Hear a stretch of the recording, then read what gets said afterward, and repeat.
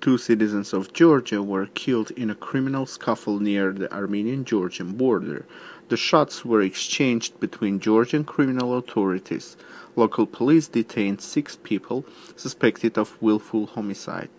Attackers had two vehicles and attempted to flee the scene, official website of the Georgian Internal Affairs Ministry reported. Wounded persons have been transferred to Georgian hospital in Marneuli. Two of them, namely Merab Kalandzadze and Georgi Piranishvili, died shortly after being admitted to hospital.